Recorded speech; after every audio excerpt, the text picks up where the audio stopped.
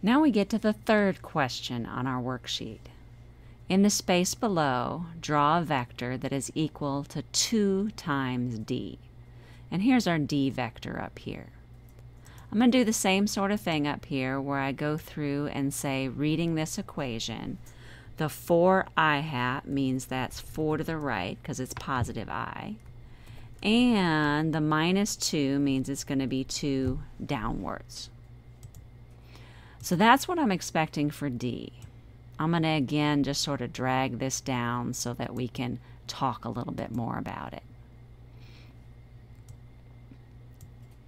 When I've got 2D, I can either think of it as I'm going to go twice this D vector, or I can think about it as taking this D equation and going twice as far.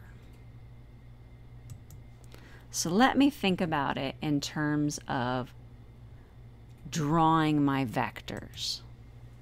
So I'm going to start off here and I've got a vector which goes 4 to the right, 1, 2, 3, 4, and 2 downwards. And again, I'll just make that a little bolder so it's easier to see.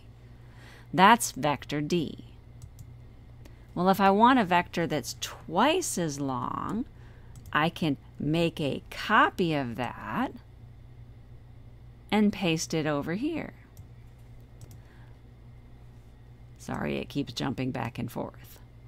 So I've got d vector and another d vector. So it goes twice as far.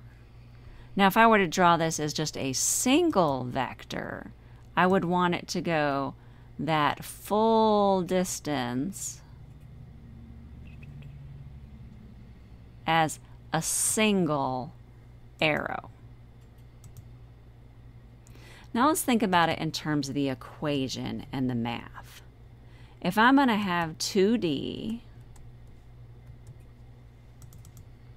it's like I've gone in and multiplied each one of these numbers times 2. Don't worry, I'll change my spacing so you can see it all here in a moment. And this spacing that I've got here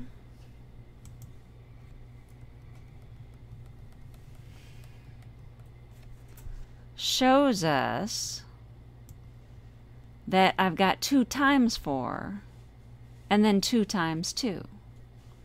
I could simplify that, and that 2 times 4 is going to become 8, and the 2 times 2 is going to become 4, so my vector 2 times d is going to be 8i hat minus 4j hat. Or I have to go 8 to the right, 1, 2, 3, 4, 5, 6, 7, 8, and down 4, 1, 2, 3, 4. So this single long vector represents 2 times d, and it's exactly equal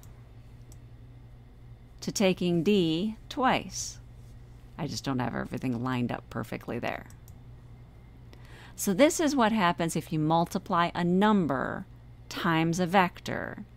It means you've got a vector that's that much longer, or you multiply each of the components by that amount.